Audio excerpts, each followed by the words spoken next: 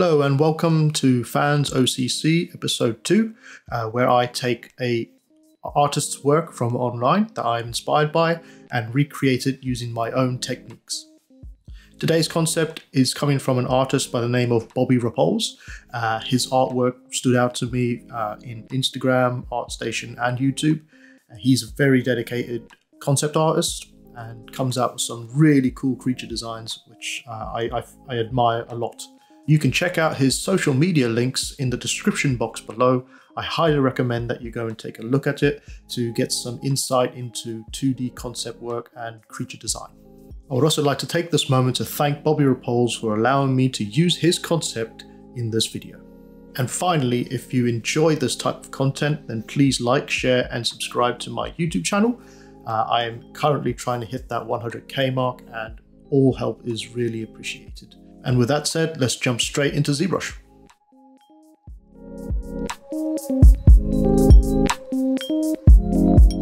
So inside of ZBrush, we're going to start off with the head plane. And what I'm doing is I'm just going to use the move brush, clay buildup and dam standard brush to block in some of the bigger forms for this uh, bust. Uh, the concept we're using today is coming from a Mr. Bobby Rebholz. Uh, I hope I've said the name right. Um, he's a concept artist from the US, and he really inspires me with his work uh, with pencil and paper.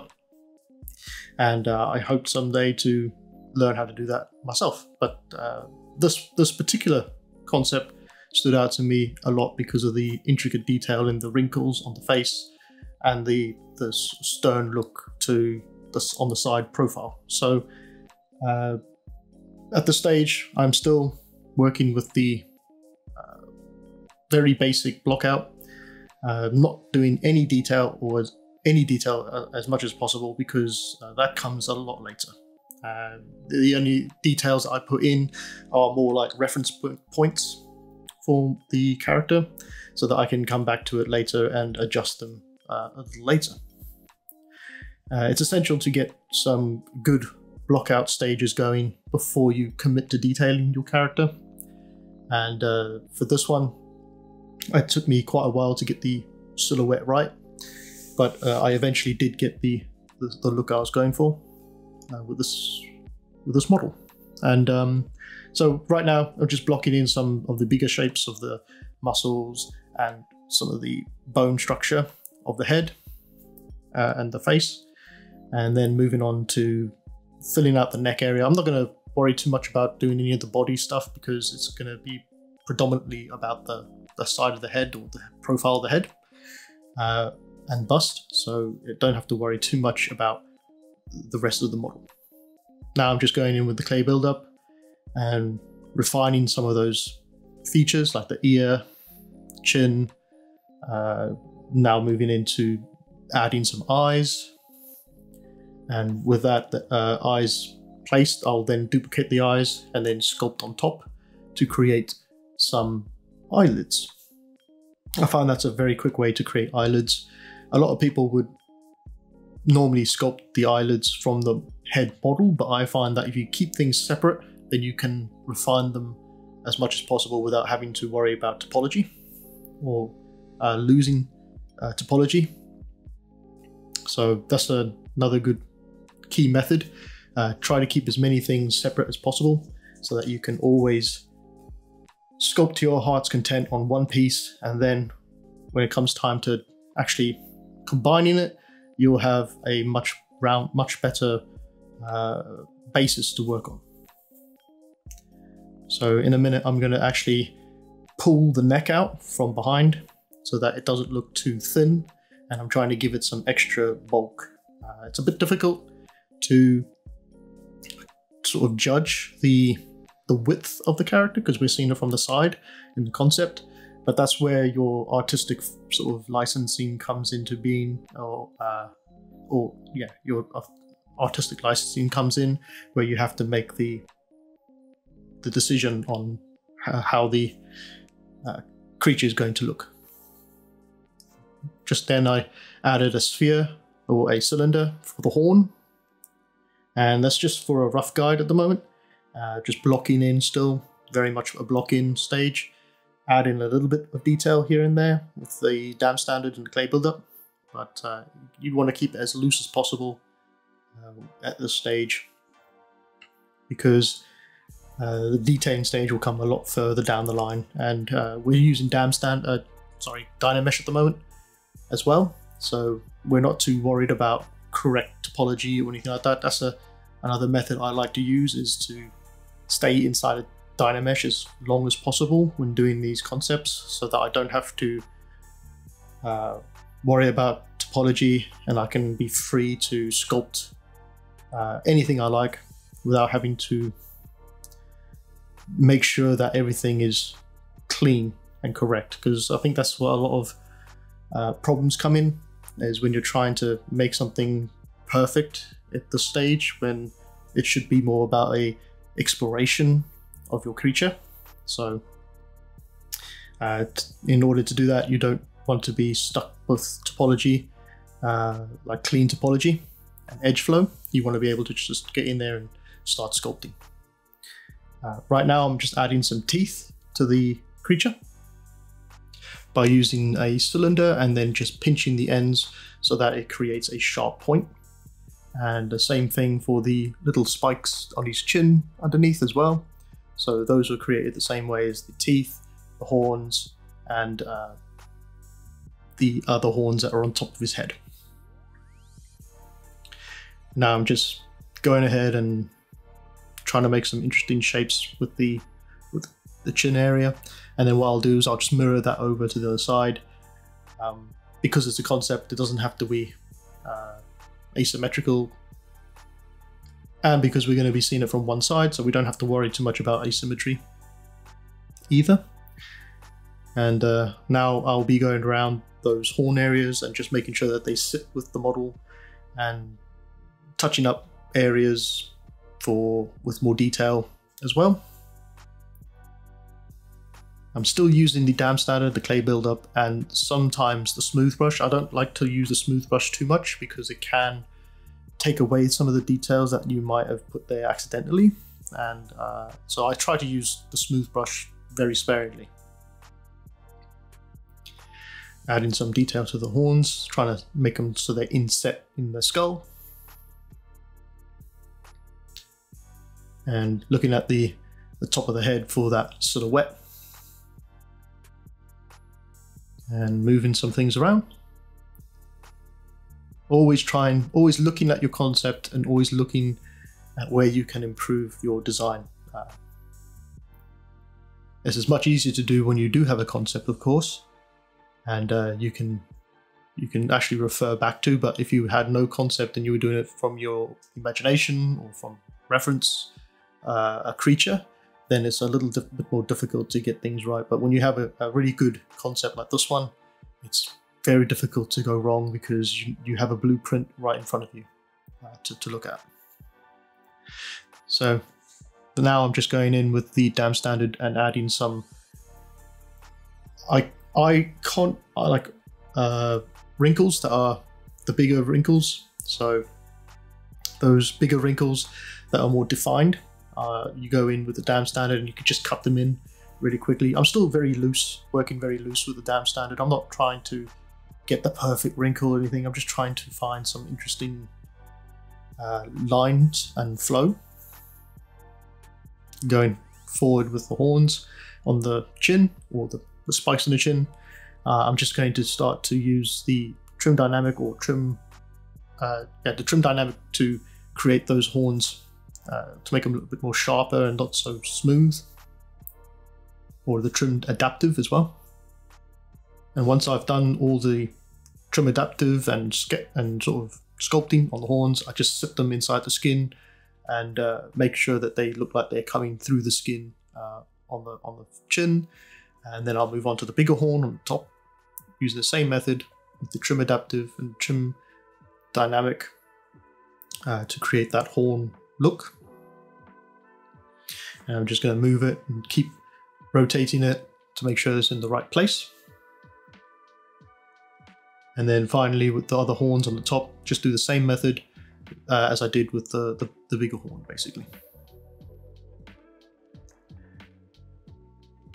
And now we're finally coming into uh, the more detailed stage. So uh, at this stage, I have Dynamesh, uh, I've sorry, I have Z-remeshed it and I have started to add more detail uh, into the sculpt itself.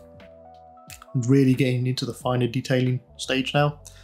Uh, adding some landmark wrinkles, getting some of that fat into the skin with the standard brush, so it looks like it's a heavy, heavier skin on the on the face, and uh, just a general sort of pass with the finer details, uh, adding more wrinkle lines. Constantly looking at the concept as well for any landmark features that I have missed out. Uh, just using the trim, uh, just using the dam standard, sorry, uh, to get some of those wrinkles in there. And this is all big, uh, a concept piece, so I'm not looking to be perfect with it. I'm just looking to uh, get a good image. Uh, this is kind of the way you would do it for a uh, film or TV concept. If you were to try and sell it to the director or art art lead, uh, you would show sort of try and get something down as fast as possible, get it through Photoshop, and uh, present it to your client. So these are the kind of techniques that you would use for that. For that. And uh, now I'm just going ahead with some alphas and adding some alphas to it. It just breaks up the skin and it gives more detail to the skin. And once the alphas are all placed, I'll then go in with the dam standard again and just pick out a couple of those wrinkles that are a bit more defined. Uh, it also gives some more depth to those wrinkles as well and makes it look a bit more interesting. Now, you could do take your time with this model or this sort of style and get all those wrinkles to to be really really good and, and to make your character look really cool. But um, as I mentioned before, uh, you just want to get this out as fast as possible if it's for a concept. Uh, you can do the majority of the work inside of Photoshop uh, afterwards. And I'm just going around now, adding the finer, final pieces, final touches to the uh, concept before moving on to Polypaint, where I start to use uh, ZBrush's painting system to give it some color.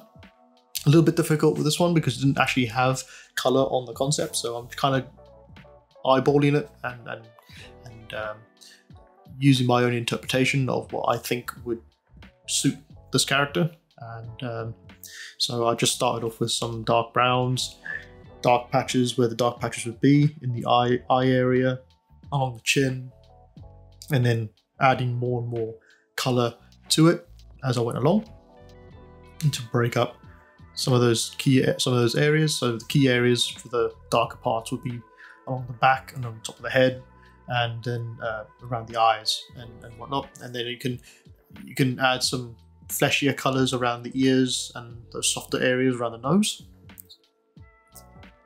And just adding more and more color to it uh, gradually, uh, using masks as well to mask out areas like the wrinkles, and then using a brush, paintbrush, uh, to paint in some of those drier areas with the, the mask added. And then using some extra masks techniques to try and break up the skin texture and give it a bit more of an interesting look. And then move on to the posing of our character using the transpose master tools, uh, which are in the Z plugin uh, tools section. Uh, this just helps to give it a bit more of an interesting look rather than just looking off into the distance. I rotated the head slightly towards the camera so that it's just off center and not and that also helps to break the symmetry up as well. So here you can see here, masking off the head and then rotating it slightly to the left and up and it just gives that little bit more of an interesting look. Next we'll come down to the uh, rendering and for this, I'm just going to render using ZBrush. Uh, I've gone over this a few times in some other tutorials that I have, but essentially what I'm doing is I'm rendering out different MatCaps, different materials, lightings, uh, and light passes and other passes to take into Photoshop uh, in order to create the concept later. So I'm going to leave it there for now. And uh, when we return, we will get into Photoshop and we can see how the image comes together.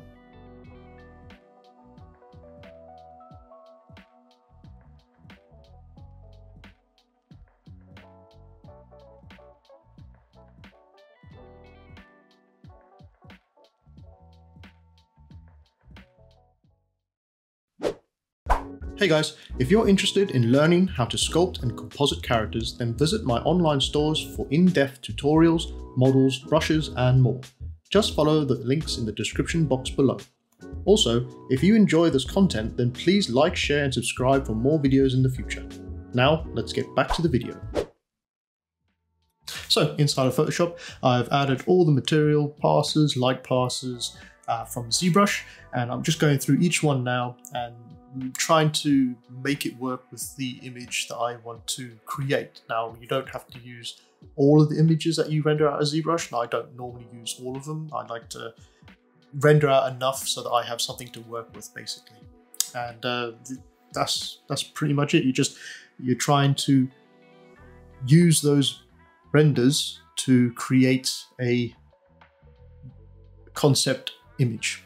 Um, a lot of people will kind of struggle with this part of the of of the concept because sometimes they don't have a very good base sculpt to work with and the more you sculpt and the more detail you'll get when you come to the Photoshop part because you'll see the detail. So don't try and rush the ZBrush stage uh, before getting here. Try to do as much as you can inside of ZBrush before you uh, take it into Photoshop.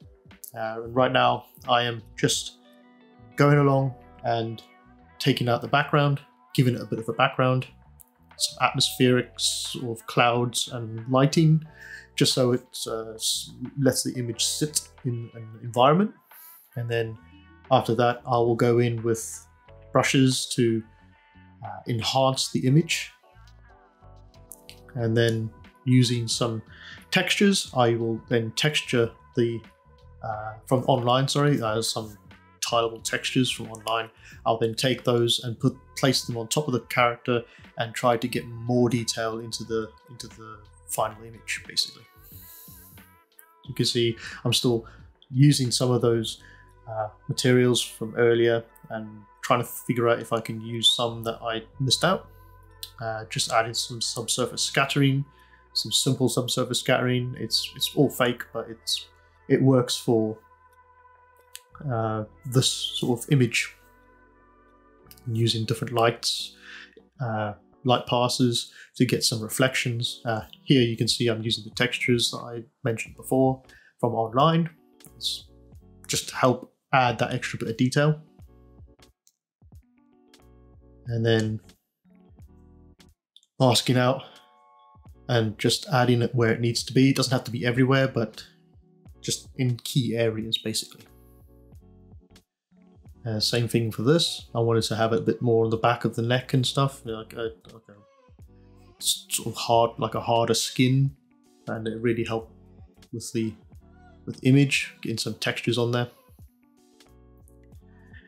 And uh, that's pretty much it. I mean, I have, like I mentioned before, got tutorials on how to do this, more in-depth tutorials and uh, you can check them out on my ArtStation, Flipped Normals, and Gumroad websites. Um, I just want to thank uh, Bobby Rebholz for letting me use his concept, and you can follow the links below to his other socials where you can you can find more of his work. Uh, he also has a YouTube channel, which is very useful for people who want to do concept work uh, with pencil and paper. He goes into very good detail on how to create concepts for uh, creature design. Uh, I, I, highly recommend that you go and have a look at look at his work.